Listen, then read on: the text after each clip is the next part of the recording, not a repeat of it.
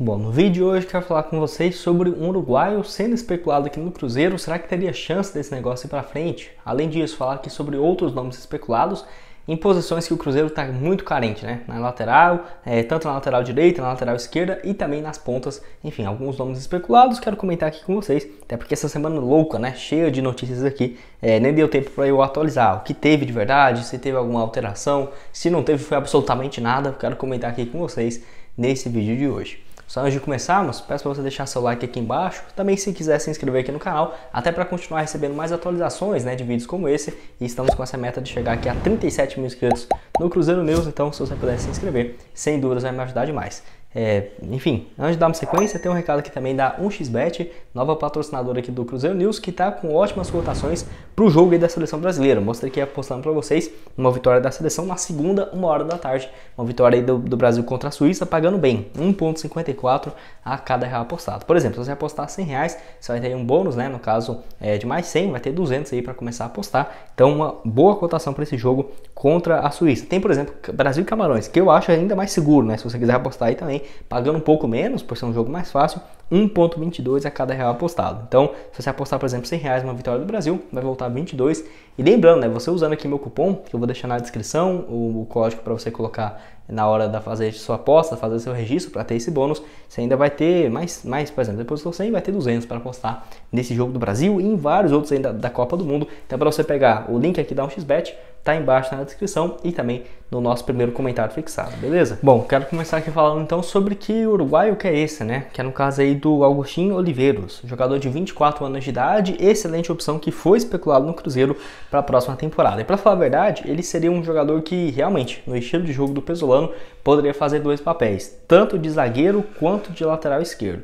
Eu imagino mais ele fazendo uma função de zagueiro, por quê? Porque ele é um, um zagueiro que, é, no caso, gosta de trocar passes, né? Um cara ali que eu vejo que sendo o zagueiro central do Cruzeiro seria uma excelente opção. De lateral, por que, que eu não acho tão interessante? Ainda mais em jogos que o Cruzeiro vai ter que propor o jogo. Porque não é aquele lateral que tem muita velocidade, até o Cruzeiro jogando com uma linha de três zagueiros.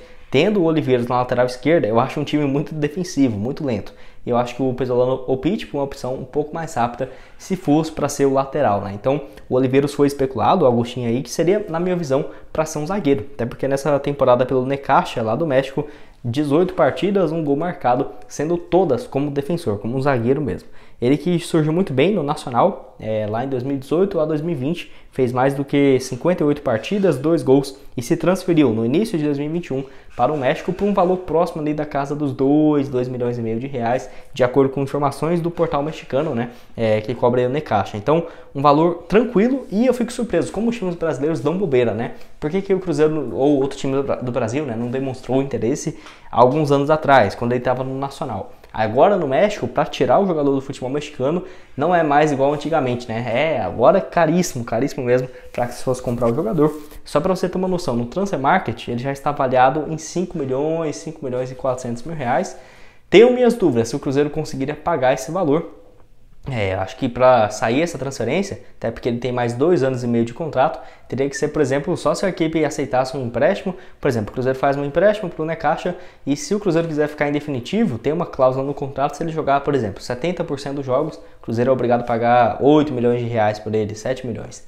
Algo nesse sentido, porque senão acho bem difícil de imaginar a equipe mexicana abrir mão de uma peça do time titular para ir jogar por empréstimo sem ter garantia nenhuma muito difícil, tá? O futebol mundial, no geral, tá bem difícil de sair contratações nesse sentido. Antigamente era mais fácil, e mesmo sendo Cruzeiro, mesmo sendo de volta à Série A com o Ronaldo, ainda não é fácil pensar nesse tipo de empréstimo. Então vamos esperar. Eu acho bem difícil de ter algum avanço, até porque agora, acho que por, por conta da Copa do Mundo também, né? Tem, tá bem parado o mercado de transferência, se, se você for analisar, não tem muita coisa acontecendo para ninguém. Nem tem muita especulação, obviamente, mas coisa oficial mesmo, no Cruzeiro, em qualquer outro time da Série A, né? Ah, o Vasco, no Bahia, Corinthians, Atlético, Palmeiras, não, tem nada, tá bem tranquilo mesmo o mercado nessa, nessa Copa do Mundo. Acho que tem alguma interferência assim, sem sombra de dúvidas. Quero saber a sua opinião, o que, que você acha do defensor, se seria uma alternativa interessante para o ano que vem. Dando sequência aqui no vídeo, outro zagueiro também especulado é no caso do Zaid Romero. Então, informação aí, no caso,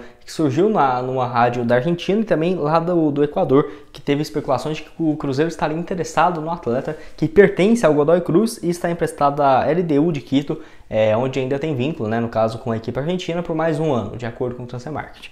Ele surgiu no Godoy Cruz, não teve muito espaço por lá, apenas um jogo no principal. Foi emprestado para uma outra equipe chamada Vila Dalmini. Não, não sei se é da primeira da segunda divisão, eu acho que é da segunda, porque eu nunca ouvi falar dessa equipe argentina e foi bem no ano passado com 25 jogos. E foi para a LDU de Quito, time bem conhecido aqui no Brasil, né? Joga direto a Libertadores, sempre está pelo menos na Sul-Americana, né? E fez 34 partidas nesse ano com um gol marcado, um número bem interessante, e por ter sido o titular, um dos mais jovens, argentino ainda, né, que tem uma valorização maior e tem apenas 22 anos de idade, o zagueiro aí também foi especulado em vários outros times. Não ficaria surpreso se fosse um empresário querendo vincular o nome dele no Cruzeiro para chamar a atenção de vários times no Brasil e do América do Sul. Não, não ficaria surpreso.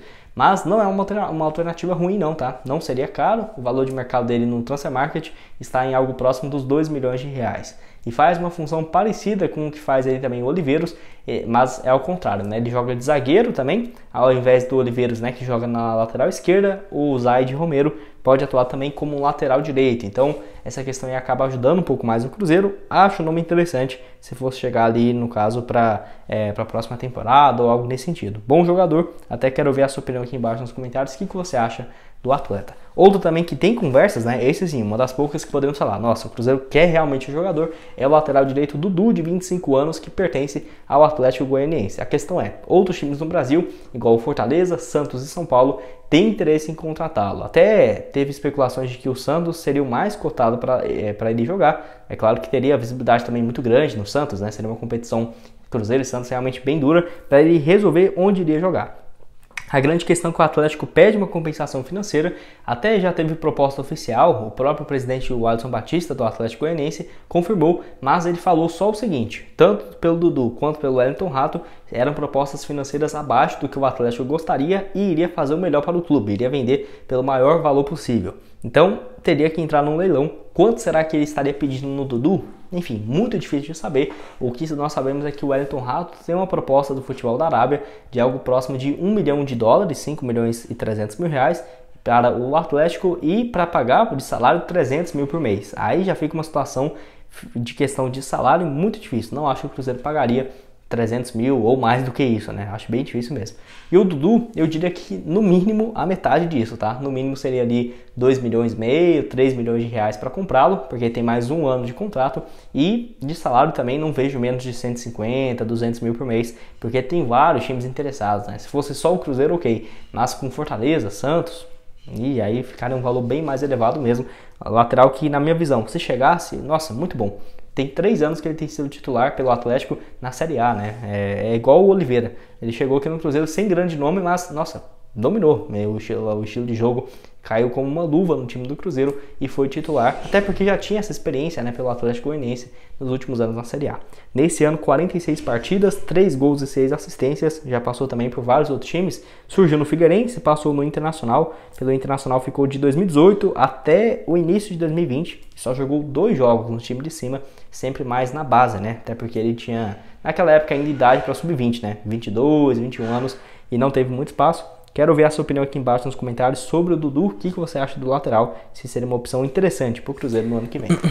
Outros nomes aqui também especulados que eu quero comentar é o. Eu quero falar aqui também sobre os laterais, né? Tem mais dois. O Paulinho, lá do Midland da Dinamarca, esse aqui um pouco mais rápido, 27 anos, não acho que ele deva vir, porque tem vínculo ainda até junho de 2024 com a equipe lá da Dinamarca. O valor de mercado dele também estaria alto, próximo dos 6, 7 milhões de reais, ou seja, não deve sair, apesar do desejo do jogador que não vê com, com maus olhos jogar no Cruzeiro e voltar ao futebol brasileiro, né? Seria uma chance de ouro para sua carreira, por exemplo, jogar no Cruzeiro com o Ronaldo seria peça titular na equipe do Pesolano. É, eu vi alguns estilos de jogo dele, é né? um lateral que quando tem espaço ali com a bola, é bom nos cruzamentos. É claro que o futebol da Dinamarca, apesar de ser no, no, futebol europeu, não tem aquele nível técnico muito grande assim não. Tem algumas boas equipes sim, times bem treinados e tudo mais, É, mas não é aquele de futebol, nossa, que difícil. E assim, os números dele, ok, joga com muita frequência.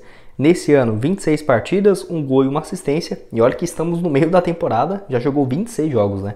Ano passado, 40 partidas, um gol e uma assistência. É o titular absoluto desse time do, do Midland, da Dinamarca. Surgiu aí no. passou no Santo André, no Santos, Boa Esporte e no Bahia, onde ele foi vendido por algo próximo de 3 milhões de reais pelo Bahia ao Midland em 2019. Nome muito bom, mas eu acho difícil de chegar. Mais um aqui também, o Júnior Hernandes, 23 anos de idade, jogador colombiano de destaque pelo Tolima nas últimas quatro temporadas. Foi também informado que o Vasco tem interesse na sua contratação. Nesse ano, o Júnior aí tem 49 partidas, 3 gols e 4 assistências. Se você for pegar o Júnior Hernandes ou o Paulinho, eu acho o Júnior Hernandes um pouco mais interessante, por ser 4 anos mais jovem e também porque tem essa questão de que ele é um pouco mais ofensivo, né? Até se você for analisar só pelos números, que não é o certo, né? Tem que ver claramente o estilo de jogo do jogador, porque pode ser que o Paulinho chegue mais, tente mais, mas a questão é que ele realmente, o, o Júnior Hernandes é um lateral mais ofensivo muito mais rápido também. 49 partidas, 3 gols marcados e 4 assistências. Desde o ano passado tem sido titular também pela equipe do Tolima, que soma mais do que 112 partidas, 4 gols e 6 assistências. Valor de mercado do Júnior próximo dos 6 milhões e meio de reais.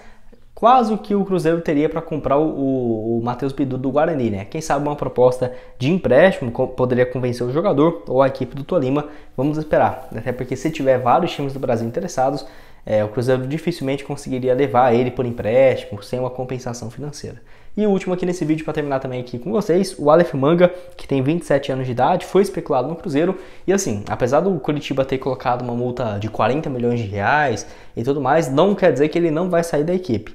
A questão é, eu acho bem difícil do Curitiba aceitar vender o jogador por um valor baixo, tipo assim, 3, 5, 6 milhões de reais, acho bem difícil mesmo. Se aparecesse um time da Arábia disposto a pagar 15 milhões, eu acho que negociaria.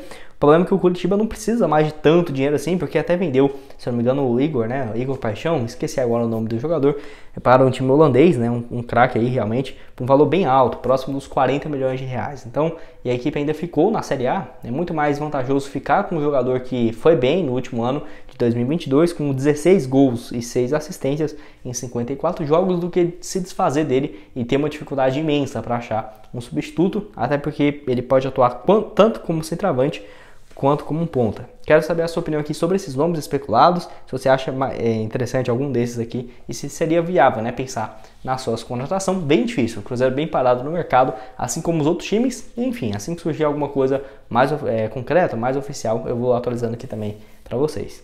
Bom, esse foi o vídeo, espero que tenham gostado. Não esqueça de deixar seu like, se inscrever no nosso canal, pegar o link aqui embaixo na descrição que eu vou deixar dar um xbet para você fazer uma renda extra aí apostando nesses jogos da Copa do Mundo, do Brasil aí com excelentes cotações. O link está aqui embaixo. E eu vou deixar aqui também na tela final outros vídeos que já trouxemos atualizando um pouco mais sobre as notícias do mercado da bola. Valeu, galera!